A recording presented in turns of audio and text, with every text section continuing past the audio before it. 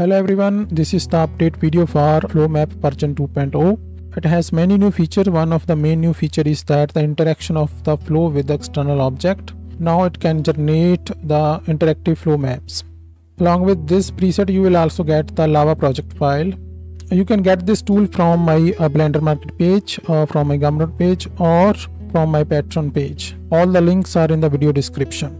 So when you download this, you will get this zip file that contain the preset and also the project file. So let's focus on this one. So let's uh, extract this here. It has these files. One more thing is that it also contain this asset file. Now you can directly link this as asset library. So let me show you this. Let's open a new file. Then go to preferences and basically in this file path you have to define the path for that folder. You can put this folder anywhere you want and just select this and add this as assets. Then save the preferences and let's refresh this. Now let's add the image plane. Let's subdivide this. Then select this image plane and go to the asset browser. Now you have this new category that is the KS tools. It has this flow map. Keep in mind that all my tools will appear in this category. So let's drag this onto this plane and now we have this. Let me change this to our properties and we have this uh, modifier panel. By default it will bring this curve, uh, this texture and this collision collection. However, you can change all these things I'll show you later in this video. So this is how you can use this as asset. Now I will explain the new settings of this uh, flow map version 2.0. So the first new settings is in the uh, direction curve settings. So now you have this trim start and trim end option for the curve. Let me first deselect this so we have a bit speed. So now you can basically trim the curve that is defined for the flow path okay. And for this it also generate a new uh, map that is the curve factor so it's like this. And you can combine this mask uh, with this use curve as mask option to get this kind of uh, mask. And it is animated based on the curve. Uh, this is really nice feature to basically animate the flow uh, using this trim option. The next main new feature is the collision with the collection so first you have to define the collection that contain the collision object. So I have this collection and let's select that here. It contain this sphere.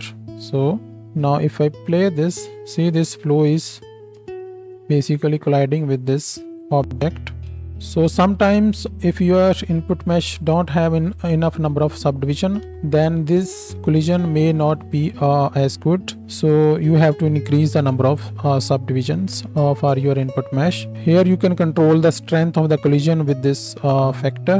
0.75 is uh, quite good enough. And then you can define the extent for this collision. Okay and then falloff width. And this is the trail mask basically mask behind this object. In the material section you have this new collision mask option. So i have split this mask into different types so that you have full control over the mask. The collision mask is basically the this mask based on this size and fall width then you have collision masks for the direction or you can say the direction in which the flow is interacting with the this object. So when you combine this you will get this kind of uh, forehead mask uh, for this uh, object. And then you have this trail mask. So with this you can control the length or extent for this uh, mask in the direction of the flow and you can also combine these masks to get this uh, total mask. Uh, they are separated because you can easily define a different material for the forehead and the trail region with these masks. This is the collision factor so you can basically control the strength of different materials uh, with this uh, factor option. You have a new option for the width that is curve radius as mask width.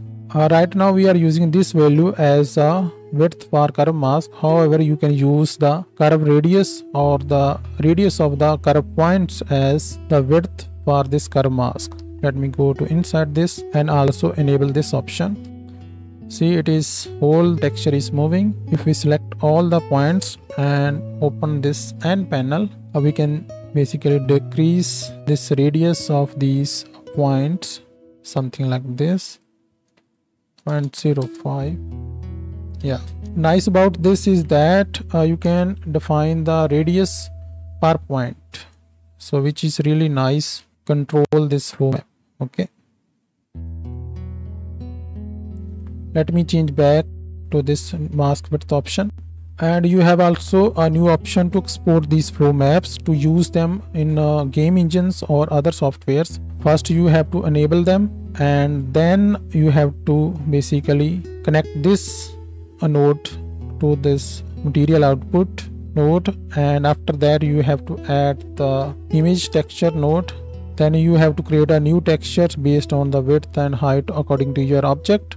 First select the object that have this modifier and then select this image texture and after that go to this cycles render engine and then go to this bake option. You can bake this texture as emission type. Then you can use this bake texture in any uh, software.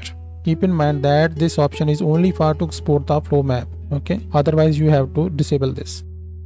This is it about the updates of this uh, flow map version 2.0 now i will show you the lava project file. So this is the lava project that i did with this flow map modifier and it is interacting with these object uh, let me play this. See it is basically colliding with this. This object as well as this uh, Suzanne. And this is the material uh, for this. If you have any query or confusion related to any setting you can ask me in the comment section or you can directly ask me on my discord server. So this is it. Until next time happy noding. Bye